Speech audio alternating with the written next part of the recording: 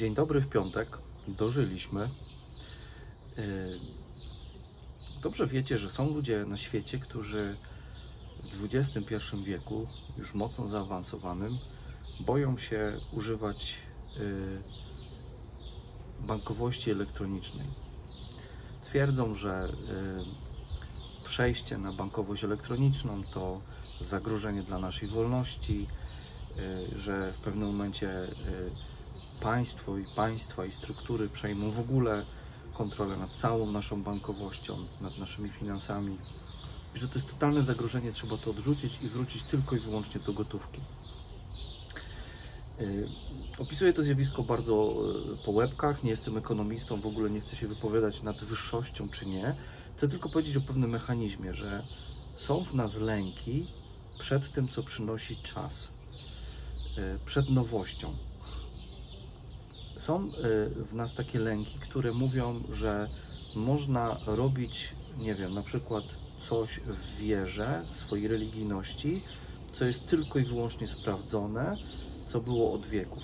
Pytanie w ogóle, co to znaczy od wieków. Zawsze się śmieję, kiedy ktoś mówi o jakimś y, nowinkarstwie w duchowości, czy y, w liturgii, czy, czy, czy w ogóle w religijności.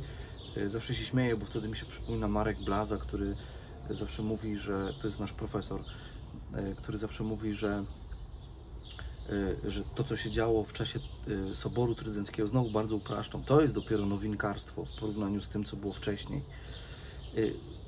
Generalnie, ktoś, nie trzeba być studentem historii czy profesorem historii, wystarczy trochę poczytać i doskonale wiemy, że historia zawsze była burzliwa, że nigdy nie było czasów, w których coś było stabilne i jednoznaczne y, y, i zawsze tak było. Nie ma tak, po prostu nie ma, po prostu cały czas idziemy do przodu. I zawsze było to napięcie między tym, co nowe, a tym, co stare. Zawsze było, e, był lęk też przed tym, co nowe, widziany jako zagrożenie właśnie e, tego, co było stare. Dlaczego w ogóle takie rzeczy mówię na początku? Dlatego, że Pan Jezus dzisiaj mówi o skarbie. E, I e, oczywiście tam jest mowa o tym, żeby sobie zgromadzić skarb w niebie, a nie na ziemi. I najłatwiej powiedzieć moralizatorskie kazanie i powiedzieć, że no e, nie trzeba i nie można gromadzić bogactw, a jeśli tak, to się podzielcie z nami. A najważniejsze jest to, co zgromadzimy w niebie. Ale pytanie, co to może być? Czy to są tylko pieniądze? Nie sądzę. Pan Jezus mówi o tym, że tam ani rdza, ani mól tego nie zeżre, nie zniszczy, ale zobaczcie, że tą rdzą i tym molem y, może, znaczy, że rdza i mól może się zająć też nie tylko moimi bogactwami w sensie fizycznym, ale wszystkim, co jest y, taką skorupą, w której się zasklepię i będę uważał, że tam jest największy skarb. Y, Jeśli człowiek wyłączy w sobie możliwość zmiany, możliwość pójścia dalej, no to zgromadził sobie skarb na ziemi i go sobie pilnuje i się o niego boi, będzie kopał, gryzł, y, niszczył wszystko dookoła i wszystkich dookoła, żeby mu ktoś tego skarbu nie zabrał. Tak też może być z naszą duchowością. Y, Znowu się bardzo śmieję, jak ktoś mi mówi w takich komentarzach, kiedy próbuje mnie jakoś, nie wiem, obrazić, że święty Ignacy to się w grobie obraca, bo on to był tym, który strzegł wiary i tym, który walczył z herezją. No miły Bóg, no to jest, y, od razu widać, że to jest ktoś, kto nie czytał i nie zna Ignacego. Zna jakieś jego, y, jego wariacje, na, wariacje na jego temat, ale nie jego samego. Przecież jak się weźmie to, co jest sztandarowym dziełem Ignacego, choćby ćwiczenia duchowe czy konstytucję Towarzystwa Jezusowego, to widać w tym y, z naszej perspektywy i naszego słownictwa wielkie nowinkarstwo. Bo przecież Ignacy to był ten, który postawił na to, żeby człowiek osobiście, indywidualnie doświadczył Pana Boga. E, Dzisiaj to jest jakby oczywiste, wtedy nie było to takie oczywiste. To jak się rodzą ćwiczenia, jak się rodzi doświadczenie duchowe Ignacego, i bardzo trudny, bolesny, długi proces, który pokazywał i Ignacy bardzo o to walczył i ćwiczenia takie są, żeby każdy człowiek miał swoje niepowtarzalne doświadczenie Pana Boga. Okej, wtedy Ignacy mówił o pewnym, w pewnych ramach historycznych, to jakby jest oczywiste, bo Ignacy nie żył w XXI wieku, ale nie możemy robić takiej kalki, powiedzieć, że Ignacy, gdyby dzisiaj żył, to by zrobił to. Skąd my to możemy wiedzieć? Nie mamy zielonego pojęcia. Ignacy y, przez swoich y, współczesnych też był prześladowany, też był niszczony przez tych, którzy mieli władzę, dlatego że był nowinkarem. Nowinkar prowadził jakieś nowinkarstwo w porównaniu z tym, co było do tej pory. Y, I tu nie chodzi o to, że każde pokolenie ma mieć swojego rewolucjonistę i wywrotowca, ale chodzi o to, żeby każdy człowiek w każdym pokoleniu próbował zmienić swoje myślenie. My bardzo często kłócimy się o rzeczy drugorzędne, czyli to, w jaki sposób, podkreślam, w jaki sposób wierzyć w Boga, a nie o to, czy wierzyć, czy nie wierzyć w Boga. To są dwie różne rzeczy. Czytałem wczoraj y, cudny tekst y, więzi, polecam, y, księdza Bonieckiego, który mówi y, taką tezę, że sposób y, wiary w Pana Boga się zmienia, ale Bóg sobie z tym poradzi. I myślę, że jeśli nie będziemy mieć takiej wolności, to nie jest tu mi wisi, że jest mi obojętne, co tam się dzieje, ale jeśli nie będziemy mieć takiej wolności, w której pozwolimy Panu Bogu działać w warunkach, w których jesteśmy dzisiaj, to my będziemy próbować Pana Boga, wiarę, chrześcijaństwo, zamykać w jakimś, właśnie w jakiejś szkatułce i to będzie nasz skarb na ziemi. To nie będzie skarb w niebie. To będzie skarb na ziemi, bo to będzie próba ujarzmienia Pana Boga w tym moim doświadczeniu, które y, absolutyzuje. Zawsze, kiedy ktoś mi mówi, że y, kiedy nie wiem, źle wierzę, tak już najogólniej mówiąc, to zawsze mi się przypomina i to jest dla mnie takie uwalniające, to co mówi święty, nie święty, tylko Pan Jezus, znaczy no święty, kiedy Pan Jezus mi mówi, nie mi, tylko mówi do, do Nikodema, pamiętacie w tej rozmowie, Y, na początku Ewangelii Jana, że duch wieje, kiedy chce. To jest y, bardzo uwalniające zdanie. To nie znaczy, że każdy i każda z nas to, co sobie tam przyśni, przyśni rano wymyśli, to to jest objawienie Boże. Absolutnie nie. Ale chodzi mi o to, że nie możemy zamknąć Ducha Świętego, czyli Boga, bo to cały czas ta sama, y, ten, sam Bóg nie możemy go zamknąć do, do, do szkatułki, do skarbonki i powiedzieć: To jest mój skarb i to jest jedyny, absolutny skarb. Trzeba zaryzykować. To jest tak jak, y, i wracam tu do początku z tą bankowością elektroniczną. Pewnie, że człowiek się boi nowinek, szczególnie ci, którzy nie mają w tym doświadczenia. Pewnie, że ludzie się boją tego, co jest yy, nienamacalne, ale Chodzi o to, żebyśmy przekraczali swoje lęki, również w wierze. Żebyśmy się nie bali wyjść poza to, co jest naszym skarbeczkiem, który sobie zbudowaliśmy, zgromadziliśmy i teraz go strzeżemy, i zobaczyli, że duch nas prowadzi do czegoś więcej, do wolności.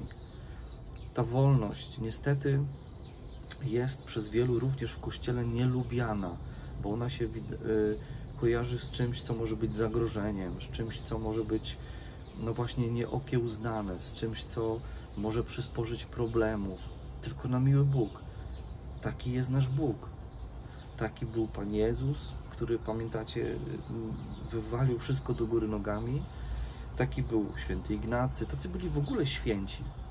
To jest w ogóle, zobaczcie coś pięknego, jak się popatrzy na historię Kościoła, że tych ludzi, to jest jakiś paradoks w ogóle, tych ludzi, których my sobie bierzemy i wybieramy jako tych, którzy są y, według nas takim fundamentem stałości i bezpieczeństwa, to ci ludzie się też kiedyś odważyli zrobić krok do przodu.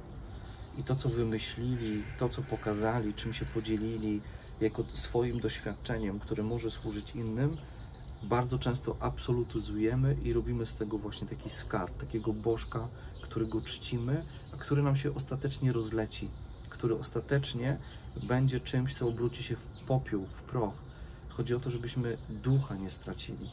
To jest bardzo trudne i bardzo niebezpieczne. Mam tego świadomość, bo łatwiej zarządza się ekipą, która robi wszystko tak samo, myśli tak samo, działa tak samo, nawet walczy o to tak samo. Trudniej być we wspólnocie, w której jest wolność, w której właśnie pozwala się duchowi wiać gdzie chce i kiedy chce. y, bo y, no bo, no bo co? No bo, no bo nie da się tego skodyfikować do końca, nie da się tego wszystkiego opisać. To jest y, znowu powołanie y, na świętego Ignacego. Jak się weźmie jego ćwiczenia duchowe, to jest coś niesamowitego. To początek jest bardzo taki opisowy, taki skodyfikowany.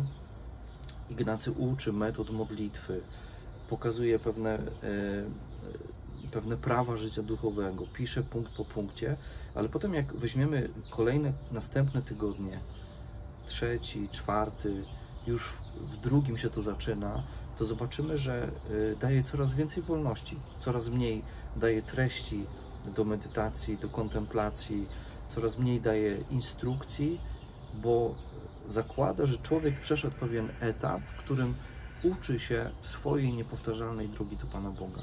I to jest y, niesamowite y, też w jego duchowości, że kiedy mówi o kierowniku duchowym, to to właśnie jakby odchodził od słowa kierownik, czyli tym, który mnie kieruje, a idzie do słowa towarzysz, czyli tym, który mi towarzyszy w mojej drodze, ale jest towarzyszem. To jest zasadnicza różnica. To ja mam relację z Panem Jezusem. To nie ja jestem jakimś, y, nie, nie ujmując niczego dzieciom, nie jestem jakimś dzieciakiem, który trzeba cały czas prowadzić według takiej starej pedagogiki za rękę, walić po głowie, kiedy odchodzę, kiedy robię błąd nie, pozwalam osobie, z którą idę, na jego niepowtarzalne doświadczenie. Ono się mi może wydawać kontrowersyjne, ono może mi się wydawać dziwne, ono może mi się wydawać nie dla mnie, ale to jest jego droga.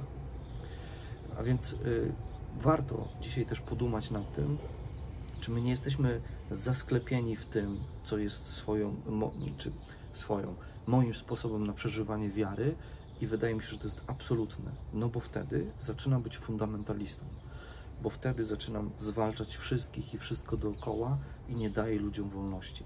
Daj człowiekowi wolność, a zobaczysz, że i on rozkwitnie, i ty będziesz rozkwitał, tylko nie bój się. To jest najważniejsze, żeby się nie bać, żeby towarzyszyć, żeby nie chcieć człowieka wcisnąć w jakiś kanon. To wszystko się odnosi też do pedagogiki, do szkoły. Pozwolić młodemu człowiekowi, dziecku, żeby szło. Owszem, towarzyszę mu, e, jestem do jego dyspozycji, pomagam mu, ale nie mówię mu, jak ma żyć. To są dwie różne rzeczy. To co? Dobrego piątku. My zaraz biegnę do szkoły. Dzisiaj pożegnanie e, tego roku szkolnego. E, wczoraj mieliśmy ostatnie lekcje, żegnaliśmy się z dziećmi i było dla mnie bardzo wzruszające to, że część z nich wpadła na takie pytanie, szczególnie mówię o tych maluchach, to co, nie widzimy się we wrześniu? Z taką nadzieją, że się jednak widzimy. Mam nadzieję, że tak. Yy, nadziejnik ma już swojego, yy, ma już swoją transmisję w YouTubie, yy, więc można poszukać sobie. Będzie też na jego stronie oczywiście. Można sobie tam zaglądać i do niego, yy, do niego sobie zaglądać, żeby sobie przypomnieć, że Bóg jest dobry bo to najważniejsza Ewangelia na całe nasze życie. Dziękuję Wam za Waszą dobroć, za Wasze wsparcie. Strasznie długo dzisiaj gadam. Do zobaczenia e, w sobotę. Trzymajcie się.